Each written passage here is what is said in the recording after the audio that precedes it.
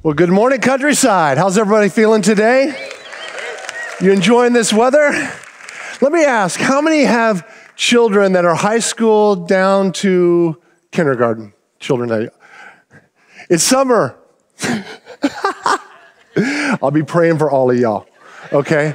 Now, I had a lot of people coming to the door of Vacation Bible School, and they asked me, could you guys do this every week during the summer? You were one of them, yeah. And I said, oh no, oh no, this is a one and done week. So, but we have camp, we have different things that are coming up, but we'll be praying for you. How many teenage kids, parents with teens? I'd love everyone stretch your hands out, especially to them. Oh Lord, Lord. Well, this is week two of a series that we've called Moral of the Story. And what we're doing is we're looking at different parables of Jesus. I love the way Jesus taught. He taught so clearly. He taught in a way that everyone could understand. He talked in the way that the culture could understand, no matter what your age was, no matter what your education value was at that time, you would understand what Jesus is talking about. Today, we're going into probably my favorite parable. And so let's take a look and see what that parable is today. The parables of Jesus. Let's look at what Jesus said about a prodigal son. In Luke chapter 15, we read that all sorts of sinners and objectionable people were gathering to hear Jesus. Meanwhile, people who had been religious all their lives were disgusted that Jesus would associate with sinful people. So, Jesus told these lifelong religious people three stories. The first was about the need to find one lost sheep out of a hundred. The second was about the joy of finding one lost coin out of ten. But the third story has a lot more detail. The younger son of a prosperous man demands to get his share of the estate right away, which in those days was like telling your father, I wish you were dead already. He then runs off to a sort of sin city and squanders all the money in wild living. But he runs out of money just as a famine hits, and wayward son is reduced to feeding pigs for a living. As a Jewish person, you can't sink much lower than that. But he remembers how the menial servants in his father's house have it so much better than him. And he determines to go back to his dad and beg for him to allow him to live on the estate, but as a servant. While he is still a distance away, his father spots him, and in a rather undignified manner for an offended wealthy landowner, he runs out to meet his son. And while his son is still talking about how unworthy he is to even be called a son, the father calls for a robe, a ring, and a feast in honor of his returning boy. All is forgiven. The relationship is restored. But here's the thing the oldest brother, the one who remained faithful to his dad, gets wind of the party and gets hot with envy. He refuses to join the celebration his father says, quote, My son, you are always with me, and everything I have is yours. But we had to celebrate and be glad because this brother of yours was dead and is alive again. He was lost and is found. So the lifelong religious people listening to this story knew Jesus was talking to them as if they were that older brother. So, what's the moral of this story? How many of you brought your Bibles today? Let's hold up our Bibles, or many of you, your cell phone device that you are using. Father, we just thank you for your word. We're hungry for more of you. Say, God, that please, I just ask you if you just open our hearts to receive, give us ears to hear, give us a hunger and thirst for righteousness in your word today. We love you, we praise you in Jesus' name. And everyone said, Amen. So think about this son. The son lived in a wealthy family. He had a good father that loved him, gave him a place where he could be raised the good life, having the good life. But yet, this son was unsatisfied with the good life under those rules. And he wanted to have it his way. He wanted to have all that his father had, but really didn't want to work for it. Kind of had a kind of had an idea of entitlement in his in his head. See, I think sometimes the prodigal son was living years ahead with that entitlement attitude of feeling like, I want it all right now. To the point to say the way that he said things, the way that he lived, it was literally in the culture of the day wishing that his father was dead. A good father. But you see, the son wanted his now. That's how the world is. The world is, I want mine now. I want what I want. I want what I need. I want what's going to make me happy. And that's what the culture is telling us every single day. If you buy this, then you'll be happy. If you have this, then you'll, if you drive this, then you'll be happy. If you have this kind of shoe or this kind of shirt or this kind of whatever it may be, to say, if you just had something you don't have now, then you'll be happy. I want you to know that is a lie. It is a lie belched out of the pit of hell because God cares us enough about us that He's not going to give us everything we want. He loves us enough to say, you know what? I'm going to shut the door in this situation because I know what's best for you. But so often we bang that door down. We're like, no, I want this. I want this relationship. I want to marry this person. I want that. And they're not even living a godly life, but yet you want it so bad because your flesh is screaming. And so often, when we try to do things our way, we screw it all up. You know, I look back when I was a teenager, the one thing I wanted more than anything, I wanted to get married and have a family. And there were a couple different ones I thought, mm, maybe, maybe. You know how sometimes single guys, when they're like 18 years old, they look at like everybody that's coming in, maybe. Don't do that. Don't do that. It's weird. But I, look, I can look back, I can see those, those women and how they lived their life in the shut door that was in front of me was protecting me so that I wouldn't screw it up, so that I would get God's very best. And you know what He gave me? The best. The best. So the son, he goes, I want it and I want it now. He goes his way, goes into a completely different lifestyle starts hanging out with the wrong people, doing the wrong things, squandered his money on prostitutes and alcohol and partying. And he had all these friends that were supposedly such great friends. But something happened. He ran out of money. And those such great friends, when he could no longer finance the lifestyle that they were living, were not real friends, and they were gone. God wants you to have real friends, godly friends, friends that care, friends that will cry with you, friends that will laugh with you, friends in a small group where you do life together with the same passion towards the things of God. This young man, he found himself to the point where he was feeding pigs just to survive. And the word says that he looked at the food that the pigs were eating and realized that's better than the food that I'm eating right now. He was starving, he was hungry. What I love about this, this parable is a perfect depiction of the character of our God. This father did not give his son what he deserved. He deserved judgment. He deserved to be put out. He deserved to say, No, you can't live here anymore. But the Father showed grace and mercy. Aren't you thankful for the grace and mercy that God has shown you in your life? Where would we be without God's grace, His undeserved favor? How many have seen God's grace in your life? Oh, thank you, Jesus. But you see, that's who God is. God is a loving, merciful, forgiving, gracious God. I thank God every day He didn't give me what I deserved. I thank him right now. Thank you, God. You did not give me what I deserve.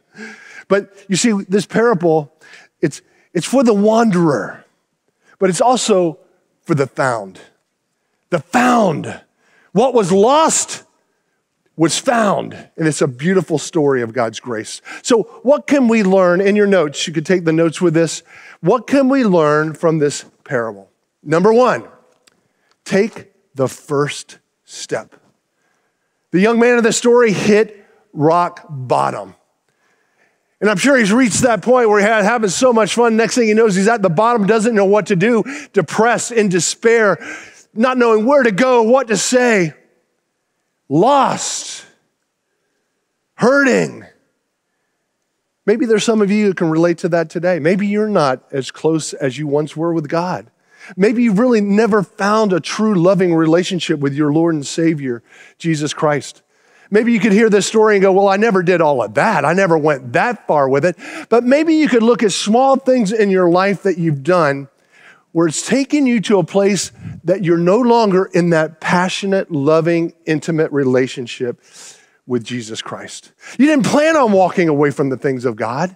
You didn't plan on having a lesser walk with the Lord in your relationship with Him, but you did something that so many people do. You drifted. You made a decision. It could be a small decision that led to other decisions that caused a separation between you and the Lord. And you found yourself in a place where you're far from Him.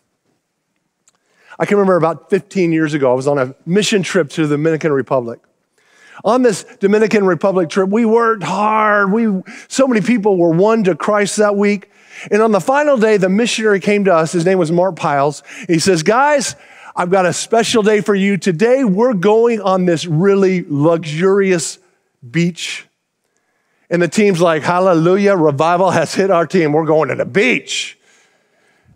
We go to the beach, and he brings the team, it was a team of about 45 teenagers, brought us up, and he said, Now here's the thing.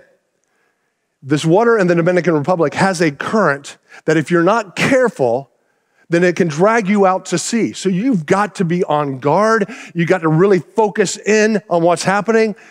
And I thought, man, I, am a pastor. If there's anyone that can lead a group of kids and be careful, it's this, this guy right here. And so I said, hey, whoever wants to go with me, follow me. And about 12 of the kids, they go, let's go with Pastor Glenn. It's going to be fun. So I'm out and I'm like, guys, make sure you watch the shore. That shoreline, remember what Mark said, you've got to be careful out here. And then a banana boat goes by. Have you ever seen one of those banana boats where it's like a high speed banana boat? It's got like 30 kids on it, and they go and they whip it around. All the kids fall off. We're like, yeah. And then we, I don't know if you've ever seen in the Dominican Republic the tropical fish. They're beautiful. So we go from looking at that banana boat. Now we're like, let's go down, let's dive in, let's see these. We're down there. Oh my goodness, there's a, is that a barracuda? No, get away from that. And we get up, and another banana boat goes by. Wow! We're laughing at these kids. We're back under the water. We're having a good time. And we look back, and we can't even see the shore. And I'm thinking, what are you guys doing? Who's the leader here? we drifted. We got caught up in the current and didn't even realize it. We were distracted by all that was going around us, and we ended up like two miles out to sea. And I said, Guys, don't you panic. As inside, I'm panicking. Don't panic. Follow me. Just swim, swim. We swam for about a half an hour. Finally, we could see the shore. And there's the missionary, Mark Piles. He's got one of those red save your life things. He's waving it, guys, over here. We almost went out to sea. We almost got lost to sea. Why? Because we were distracted. We weren't focused on what we needed to be focused on. And the next thing we know, we have drifted far from where we needed to be. How often does that happen to us as Christians in today's culture? Everywhere around us, we can get so distracted by the things of this world, the cares of this world, the people of this world, and we lose sight of the anchor in our life, which is Jesus Christ and a real, loving, intimate relationship with Him. See, that's what the enemy does, and he's so deceptive with it. Just little things. You know, why don't you just, it's a beautiful day.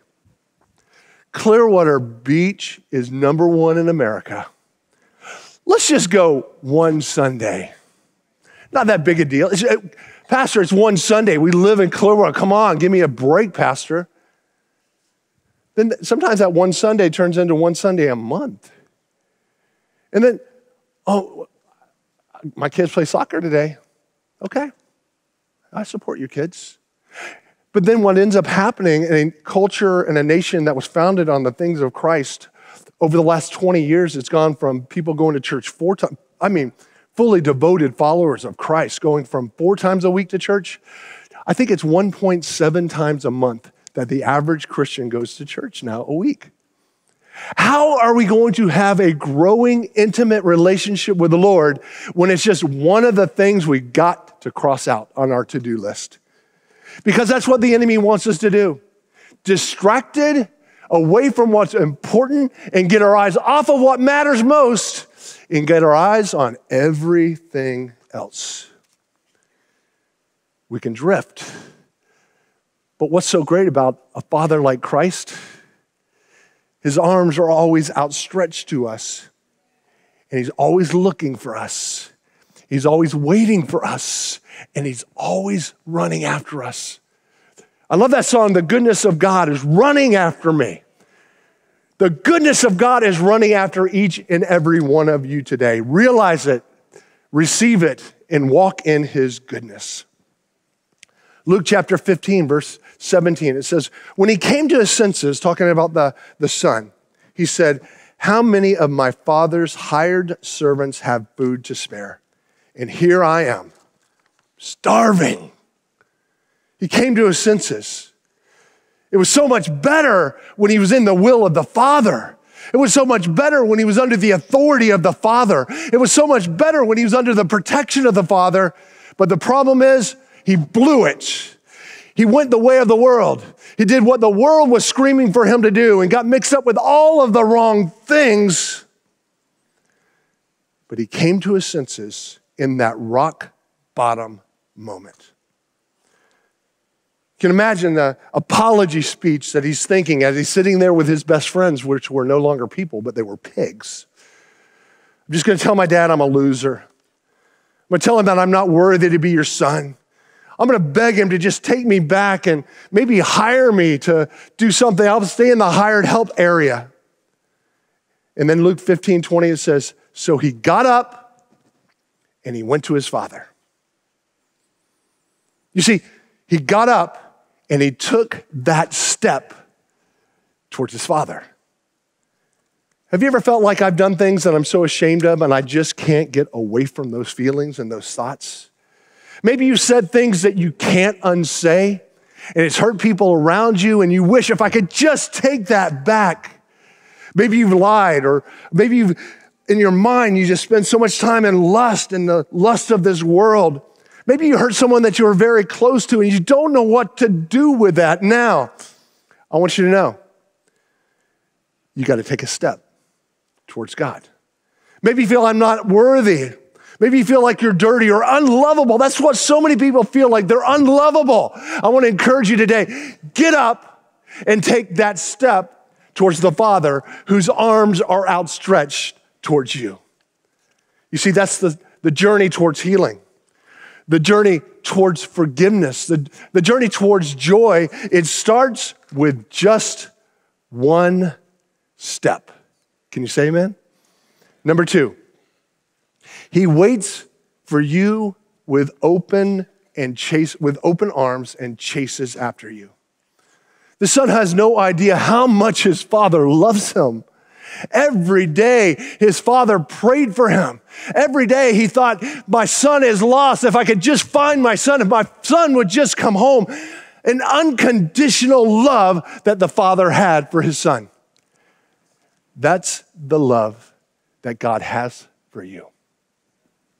No matter what your past looks like, no matter what you've done with the things behind you, maybe the people that you've hurt, God's love for you is unending.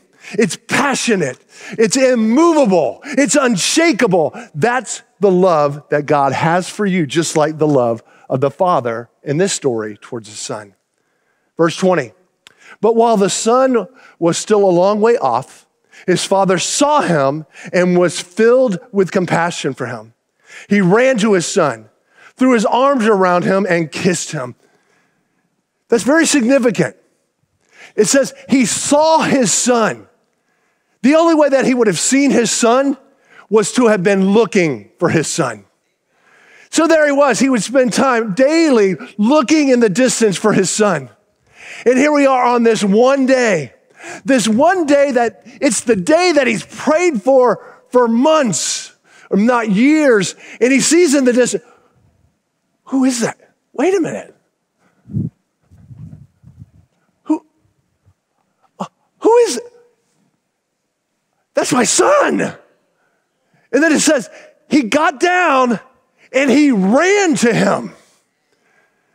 See, as humans, so often we can look and we say, oh, you know what? We're going to forget about it. But yet we remember it. Other people is like, you know what? They did so wrong. They deserve to be punished. They deserved what they got. He deserved to be with the pigs. Oh no.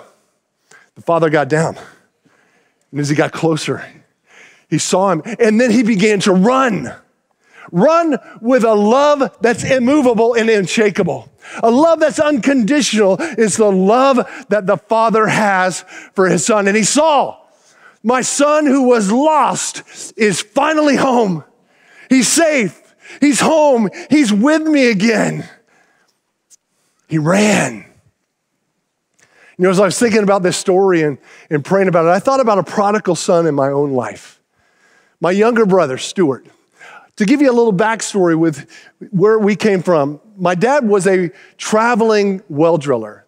My older brother traveled with him. So my mom pretty much raised me and my younger brother together. And we developed this best friend type of relationship. I was, I was like a father figure to him. And we became best friends. And so he was my brother. And, and when he graduated high school, we all were raised in the same home.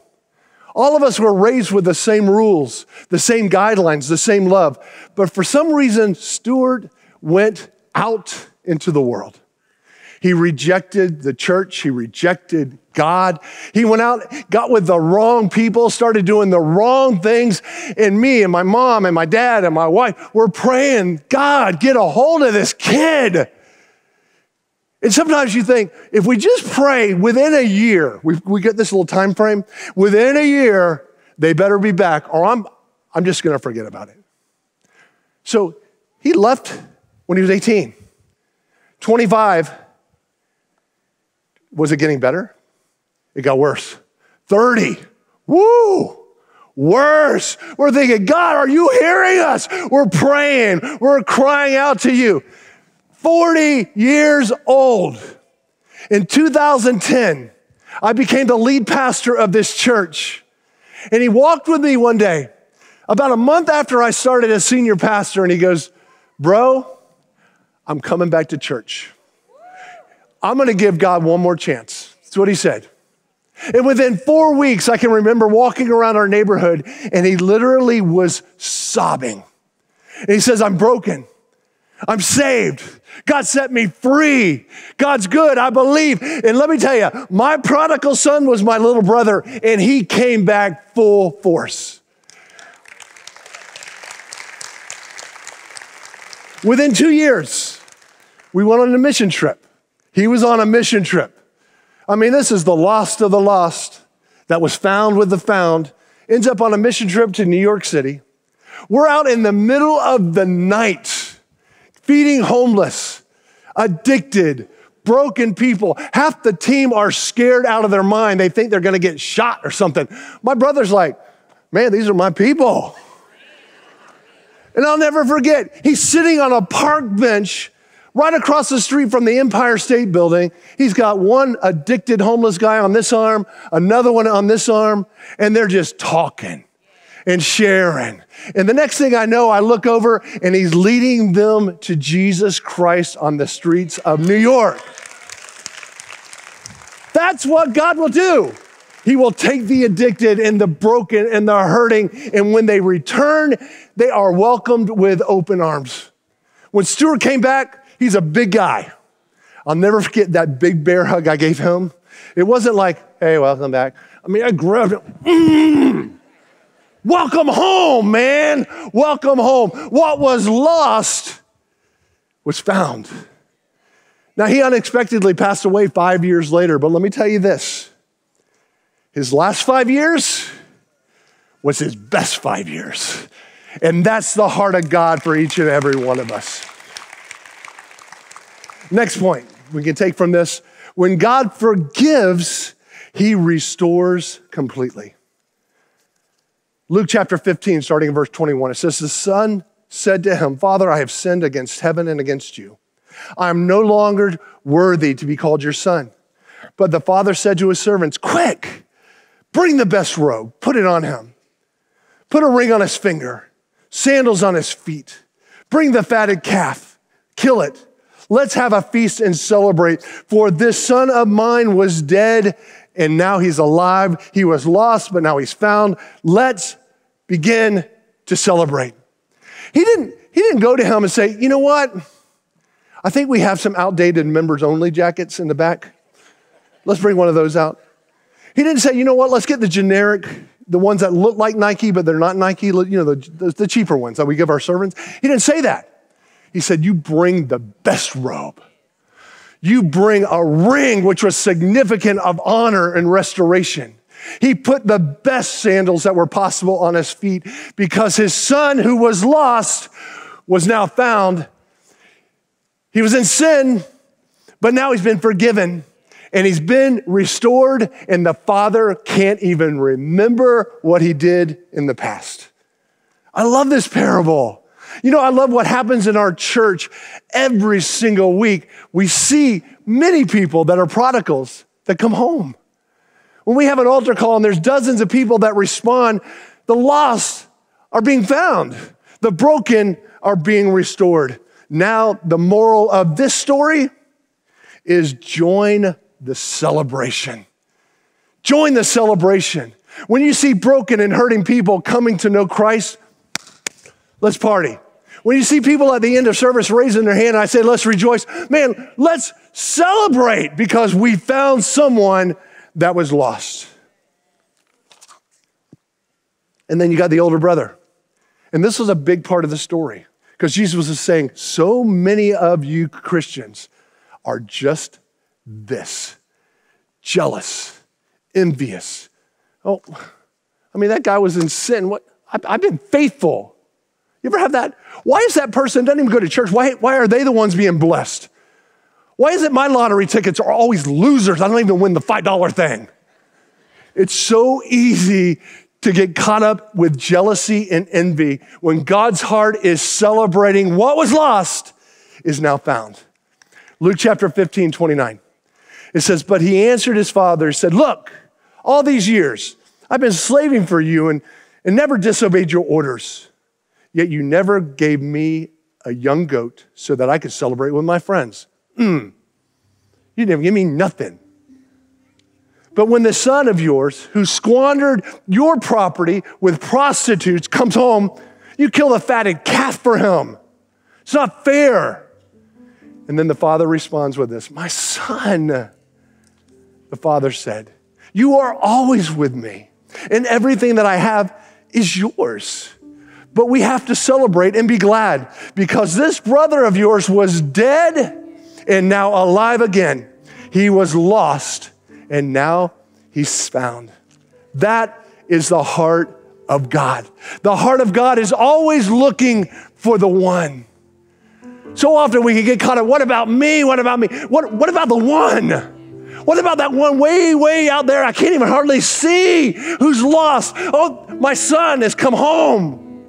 When we begin to have a heart for the one, the one that's hurting, the one that's lost, that one person that you work with that only you could minister to. God, change our hearts to have your heart. And when we do that and we care about that lost son, that lost sheep, that broken sheep,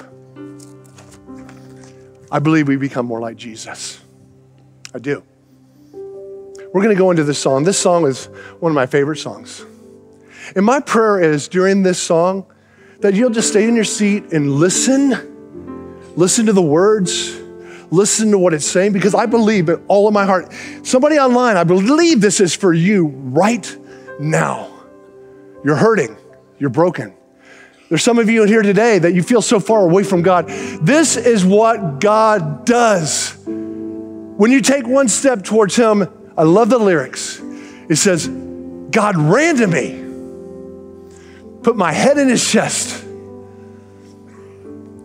wrapped His arms around me with love.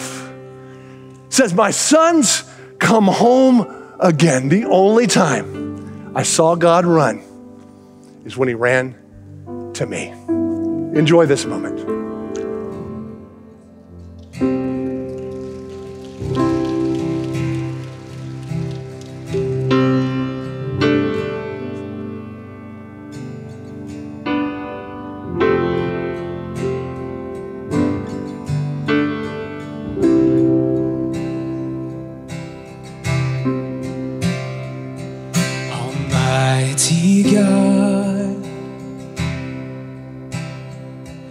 The great I am, immovable rock, omnipotent, powerful, awesome Lord, victorious warrior.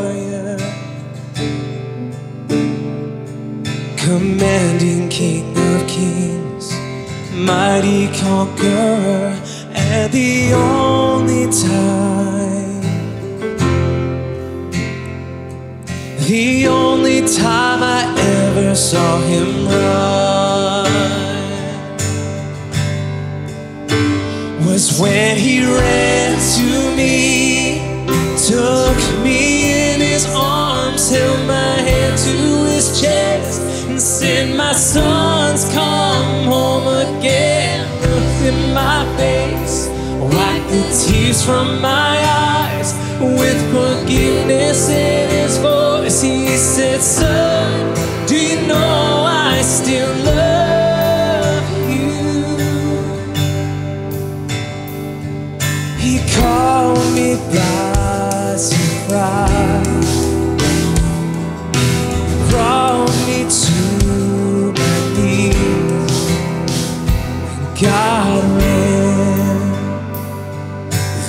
day I left home, I knew I'd broken his heart. And I wondered then if things could ever be the same. And one night, I remember his love And down that dusty road, ahead I could see was the only time. The only time I ever saw him run was when he ran to me,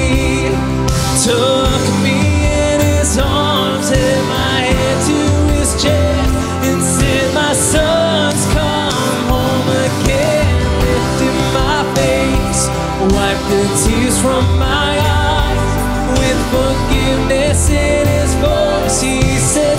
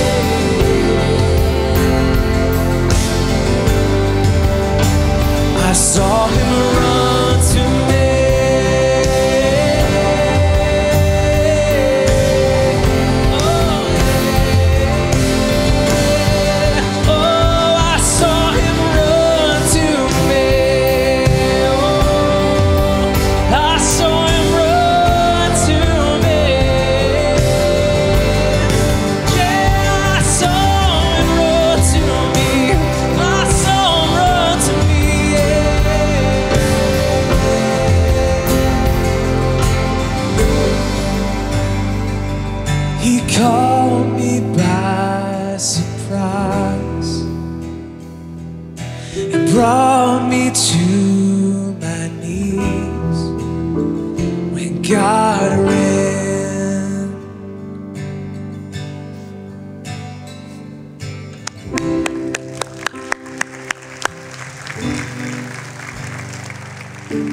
Oh, the song. In your most lost moments, in the times that you feel most broken, in the moments that you feel most isolated and alone, God's running to you. His arms are outstretched to you.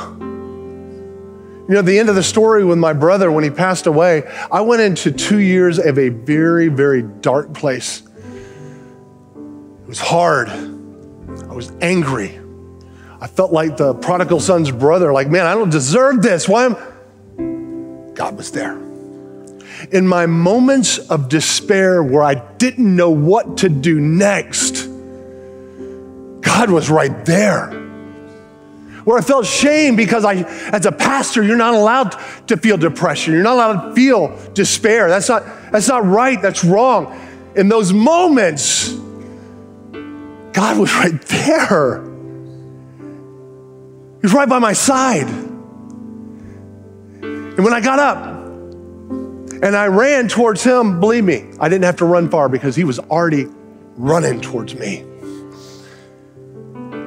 And there were times in those moments, all I needed to know was God was there and that I'm gonna be okay.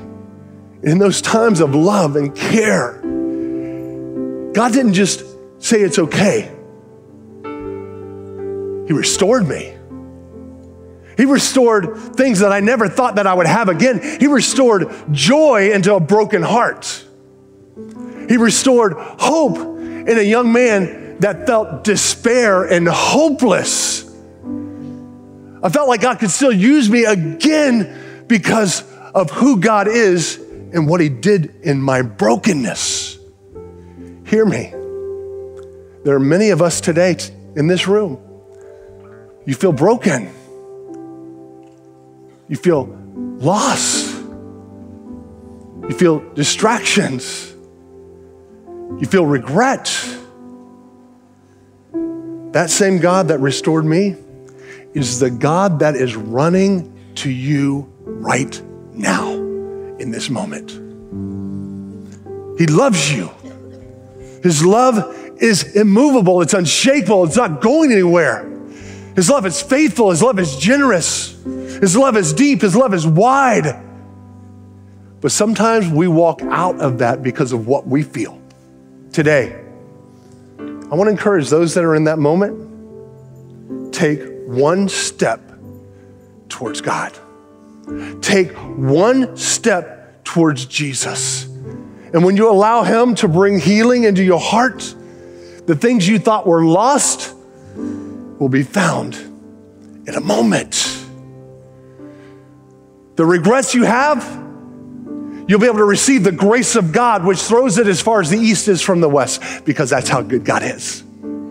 And the future that He has for you is the best five years, 10 years, 40 years, because you're doing it hand in hand with Jesus Christ, your Lord and Savior. So today, before we close, do you feel in your heart, maybe in some way, you're that prodigal daughter, you're that prodigal son? Because in this moment, I encourage you to come home again. Can we all bow our heads and close our eyes as we close today? Maybe you're here today and you say, Pastor Glenn, that's right where I am. I need him. I want him. And today I'm taking that step towards God, towards healing, towards restoration, towards hope. Today's my day to be that prodigal. If that's you, I'm not going to call you out, I'm not going to single you out, but I'm going to pray for you. And if, if that's you today, when I count to three, just raise your hand. Hands are already going up. One, two, three. Raise your hand. Yes, yes. God sees your heart. God sees it. He's running to you right now. He sees it. He sees your heart. He's doing a work. He's doing a work. He's coming to you. He's bringing healing to you. Yes, yes, yes, yes, yes, yes, yes, yes, yes. He's taking you by the hand. He's celebrating because what was lost is now found. My son, my daughter has come home again. Today is your day to receive the restoration and healing of Jesus Christ. Let me pray for you right now. Father, I pray for each and every hand, dozens and dozens and dozens of hands today. I pray, God, that you would bring hope to their hearts You'd bring restoration. What was lost will be found. I thank you that joy is filling the spirits of your people today. A passion to come home again is filling the hearts of your people today. Do that deep work. Do that deep work that each one would know that they are your son, they are your daughter, and the best of their life is yet to come in Jesus' name. I pray, God, your blessing upon every family, every marriage, every home today. And I ask you, God, to bring healing and to do that deep work that only you can do. In Jesus' name, amen. Can you just give the Lord a praise offering today? You know what? what was lost has been found. I think we can give the Lord a better celebration today. Amen. God bless you, church. I love you so much. I appreciate your heart. Would you stand with me now to receive your blessing? And I want to invite the altar prayer team, if you would come forward. If you raised your hand, Pastor Glenn prayed for you. I want to invite you after this blessing and after we dismiss to come up and see one of these altar prayer team members because we have a free book for you. We want to pray for you. And if you'd like prayer for any reason, that's, that's what they're here for. So to receive your blessing now, if you would open your heart to the Lord, maybe just turn your palms upward in an attitude of receiving this day, may you be blessed with even a glimpse of how much the Father loves you. And this day, may you be blessed with a heart to celebrate every lost person that returns to Him. And may the Lord bless you and keep you May the Lord make his face to shine upon you and be gracious to you. May the Lord lift up his countenance upon you and give you peace. In Jesus' name, amen. Amen. We love you, church. Have a wonderful Sunday.